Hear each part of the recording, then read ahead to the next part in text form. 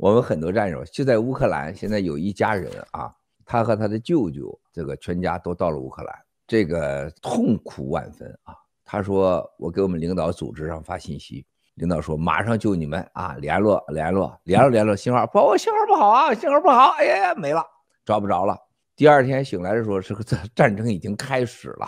他说这个非常凄惨。他说你看我这是从美国，我回到了中国，十几年效力，我这孩子长大，孩子也来到了乌克兰，就是搞这个这个大飞机技术的。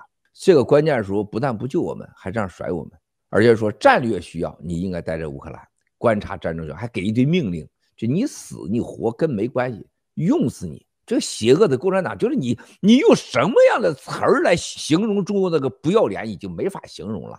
所以他说，我现在我是伤透了心，我死不会回中国。那么他其中就谈到他说，七哥，乌克兰这次的信息战打的是真好，社交媒体是用的真好，而且他们特别厉害。你说俄罗斯人用什么社交媒体啊？主要是 Telegram。还有 Facebook，他们推的很少的。然后这个俄罗斯人接受的信息，包括 Line，他们也用啊，现在用的也不少。那么整个泽连斯基这个哥们聪明在哪儿了？花了很少的钱，把乌克兰的优势用起来了。所有跟乌克兰有关系的工程师们发动起来，你们要比利用一切黑科技，让俄罗斯人内部瓦解，让全世界看到我们。这个时候，大家你发现，这人心呐，它太重要了。你打人家家去，你把人家家里都给毁掉的时候，乌克兰那工程师他在哪的人，他也得上啊。在这种情况，你看看，特别是欧洲 Swift 在清除这个事儿上，你注意到这细节了吗？呼吁 Swift 清除的最多是什么媒体？社交媒体，主流媒体几乎不敢说。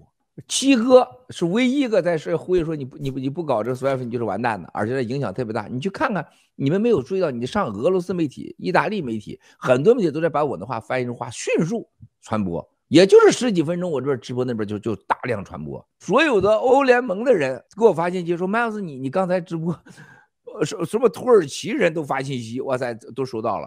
你看他们多会用啊！说一个人家麦克斯郭子说，你们根本就是孬种。你为啥不掐他 Swift？掐他就完蛋了。再一个，一万多亿的这个这个俄罗斯的富豪资产全在这个地中海，你为啥不采取措施？